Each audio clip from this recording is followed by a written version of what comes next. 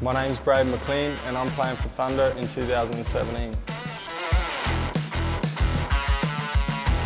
has it. Josh Dukes once again. It's uh, Thomas Motlop. Gets it out to McLean. McLean dabs one forward and a nice mark taken by uh, Bates. In the hands here of Braedon McLean. On the right boot, set it up towards the top of the goal square. It's a good kick, plenty of Tiwi defenders back there.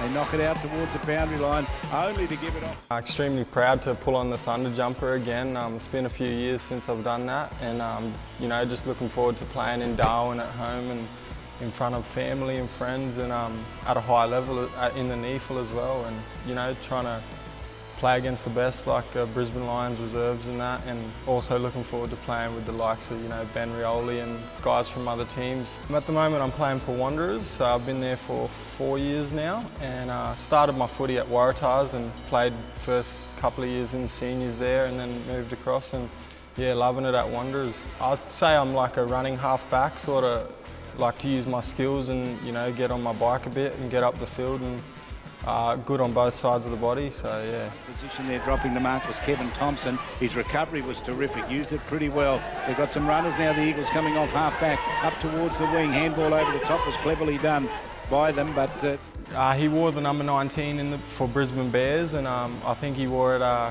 here for NT as well in a couple of games, and uh, just always look up to him and I sort of try and play like him, looking back at old tapes and that. And yeah, I think I sort of have some similarities there. So no, I just love him. He's my idol. So yeah.